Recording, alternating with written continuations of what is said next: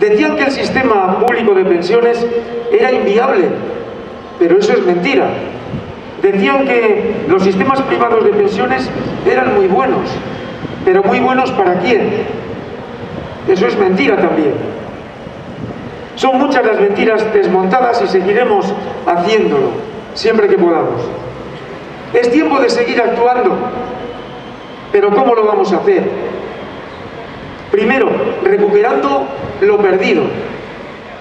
Cada día que pasa sin que se deroguen las reformas, tanto laborales como de pensiones, aumenta la precariedad, se incrementa la desigualdad y se extiende la pobreza. Se ha privatizado mucho empleo público en muchos sectores, ayuda domiciliaria, residencias, limpieza, comedores, cocina, ambulancias, etcétera, muchas más. Hay que recuperarlos. Hay que mantener servicios adecuados para quien tenga que ir tanto al banco como para hacer la declaración de la renta. Ya hemos estado hablando sobre ello. Segunda cuestión, consolidando lo existente. Garantizar el sistema público de pensiones, con pensiones dignas, justas y suficientes, que, debemos, que continuamos recordándolas.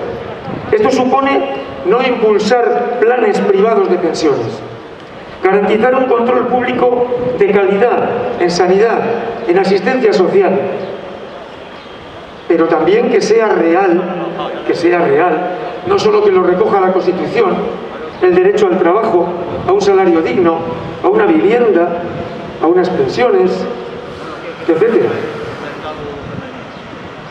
También debemos seguir avanzando, mejorando y extendiendo los derechos, nuestros derechos. La pensión mínima de 1080 que, que seguimos eh, recordando, el salario mínimo profesional de 1200, las medidas para acabar con la brecha de género, el 100% en la pensión de viudedad, la jubilación anticipada sin penalizar con 40 años cotizados, conseguir servicios de cuidados y atención a la dependencia de calidad, realmente, no criminalizar opiniones, asociaciones, movilizaciones, luchas que intentan transformar y mejorar esta sociedad nuestra. No permitir en ningún caso, en resumen, ningún tipo de privatización de servicios públicos.